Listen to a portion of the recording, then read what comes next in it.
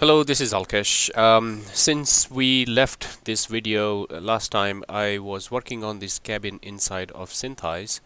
Um, so I have completed that and I wanted to um, just uh, move forward with what I have done. So uh, you can see from last video I uh, how I made the marks here and you see many more marks here um, and I track them manually for these four frames this basically gives me an idea as to where different things are um, in this cabin. So when I start to model this in Maya, I would know exactly how to build the wall and where to put the windows and things like that. Uh, the attic, the window in the attic and so forth, the roof. So um, let's look at this in a quad view. Um, so you can see what's going on here. This blue line here indicates the um, the camera move so how I was moving when I took the pictures. Um, then you see here from the top view how the cabin is going to be laid out. So if I select a few trackers here this wall is going to be on the x-axis on this side. This is going to be the origin of the uh, of the scene. For the modeling purposes anyway I don't think that will be the, um, the, the place where I would keep the cabin in the final shot and then the other wall is uh, heading out this way. So if I select most of these trackers you can see that they are heading out in the um, in the Z axis um, away from the camera right, the camera is here.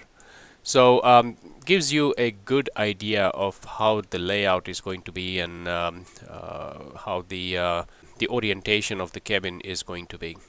Now ideally you would also take into account the uh, lens distortion. Um, I haven't really paid attention to that for this uh, simple shot. This picture was taken using my um, cell phone actually. This is um, uh, Samsung Galaxy cell phone that I use to take the picture. So I'm sure that there is uh, there is quite a bit of uh, lens distortion um, that I should have corrected, but I didn't really care about that. Okay, so um, I would from here I would export this into uh, Maya because that's where I'm doing most of my modeling.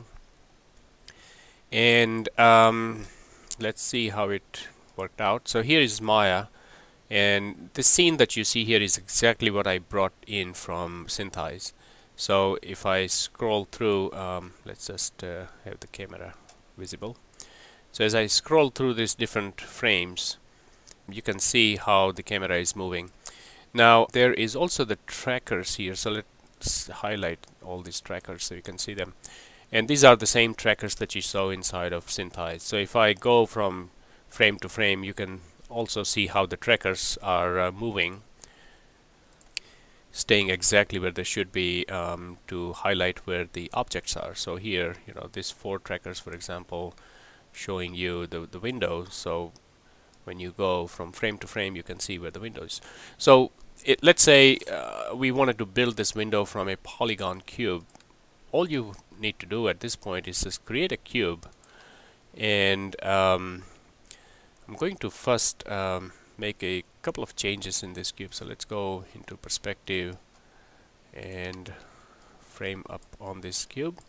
Um, I'm going to move the pivot point of um, of this cube. So by holding down D key and then V key because I'm going to snap it right here. Um, and then just uh, hover your mouse here wiggle a little bit and it will snap there. So that's my window structure. Now let's uh, open up a four view window here so we can see where the, um, the the window actually needs to be. So if I select these four markers this is where my window should go. So um, what I'll do is um, take my cube and then uh, snap it to this point. So again holding down the V key and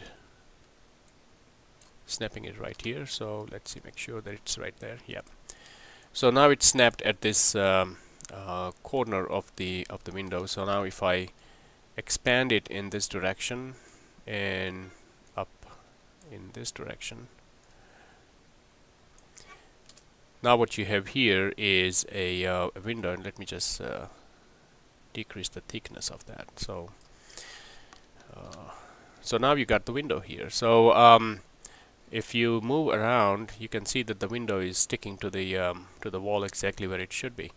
So it makes it very simple workflow from this point on. For a geometry like this which is not highly complicated um, geometry um, to start to plan how do you want to um, work with the polygons and where do you want to place them and in which direction should they uh, tilt you know for uh, for roof for example so where do I go from here? So I built, I started with a uh, blueprint of, uh, of the cabin, which is uh, exactly what I did here. Let me just delete this so it doesn't get in the way. Um, I started with the polygon cube right here at this uh, corner, uh, using this corner point as my starting point, and then went in two different directions. So if you just look at this cube, it's just one big giant polygon which I have divided into different um, parts um, by inserting uh, vertices and all that or, or, the edges and then change the angle of some of the uh, vertices and moved around to conform to what I was looking at behind this uh, polygon so um, so here is my base work so if I go to perspective view here um, this is how it looks you have the windows garage doors, you have the roof and um, and the attic. Um, now some of these things you see are not perfectly aligning. Uh, I did have to improvise a little bit. Um, again, I think it's because of the uh, distortion and I didn't really pay too much attention to how I'm putting the uh, the marks in um, in SynthEyes. But for what I was trying to get out of SynthEyes, this was uh, more than sufficient.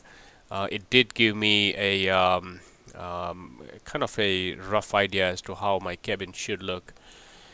So um, this is not the full cabin. This is only what I could see in um, uh, through the camera. So if I go to the camera view, um, you can see that there there must be some other part on the other side that is um, uh, hidden, a and there is actually. I have taken the full image to uh, see exactly how it would look and what I did on the, on that basis um, uh, I started constructing my um, structure so I started with the studs so these are the inside studs where um, the cabin is going to be built upon now the reason why I need this kind of details is um, especially in the parts where the driller our main character is gonna knock out all this part of the um, of the building and when that creates debris. Um, the debris that it will create should have different elements of what should be inside a barn.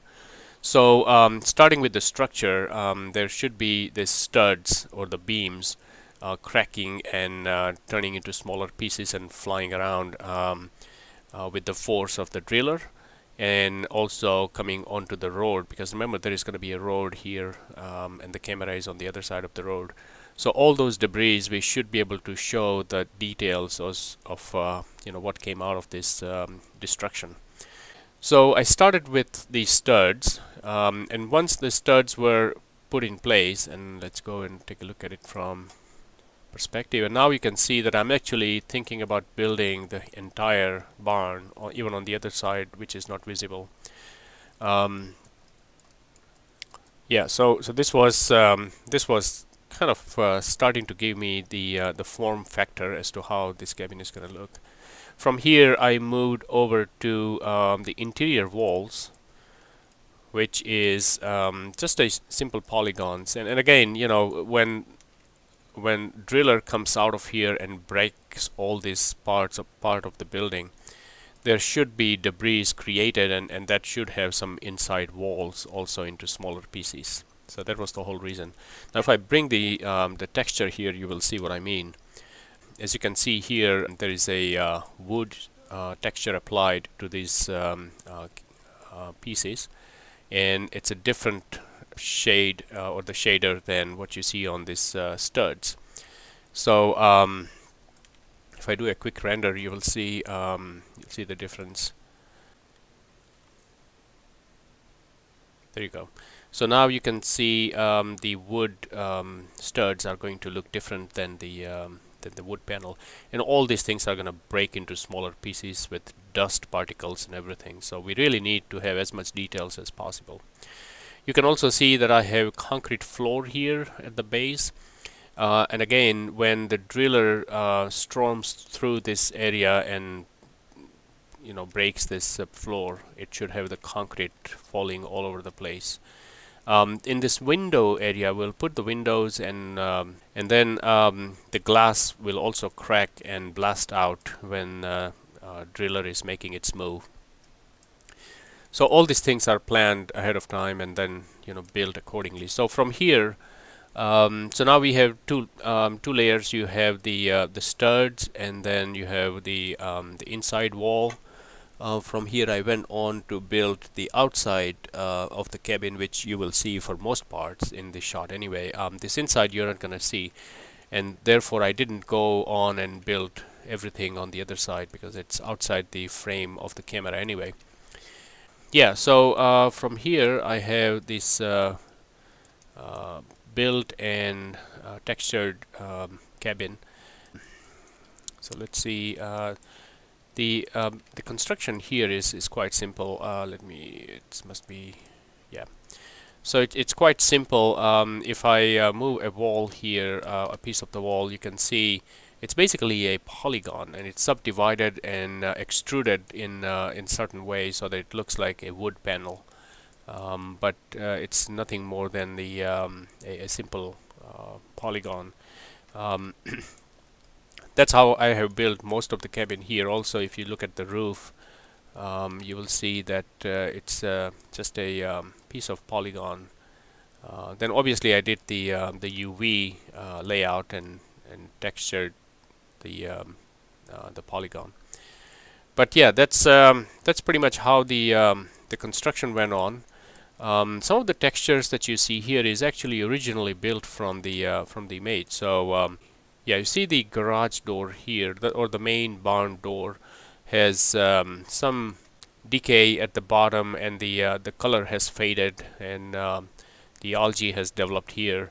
Um, so rather than uh, creating a texture from the scratch, what I did is I took a picture of this uh, cabin from the front and then uh, cropped out this part of the uh, of the image in Photoshop and created a texture file from that which I then applied onto this polygon here.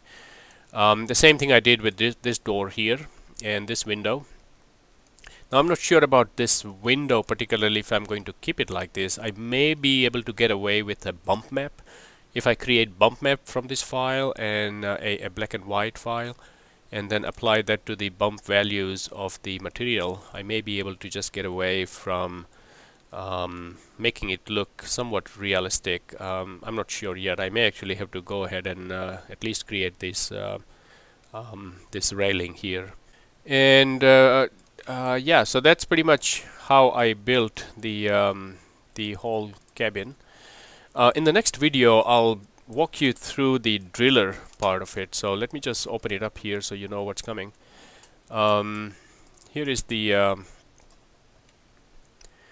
this is uh, the kind of a rough uh, idea of what our um, bad guy character is gonna look like this is the driller idea I got this from uh, Dark of the Moon transformers. So this is a rigged version of uh, of Driller, um, and I'll walk you through this one in the uh, in the next video, and then thereafter I'll start to build this scene from uh, combining all these elements into one shot. Talk to you then.